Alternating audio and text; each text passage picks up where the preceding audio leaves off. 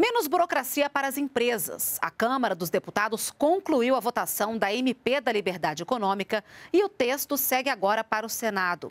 Vamos então conversar com a repórter Selma Dias. Selma, bom dia para você. Ontem foi um dia de muito trabalho no Congresso, né? Oi, Renata, bom dia a você e a todos. É, muitas decisões tomadas aí pelos parlamentares. O plenário da Câmara rejeitou todos os destaques apresentados a essa MP da Liberdade Econômica.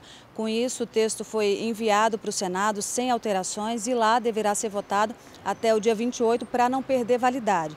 De forma geral, a gente tem uma proposta aí que incentiva o empreendedorismo, facilita a abertura de negócios digitais e também regula o trabalho aos domingos. Os deputados também aprovaram aprovaram e enviaram para a sanção presidencial um projeto de lei que define os crimes de abuso de autoridade praticados aí por agentes públicos, como membros do Ministério Público, também servidores e integrantes dos três poderes.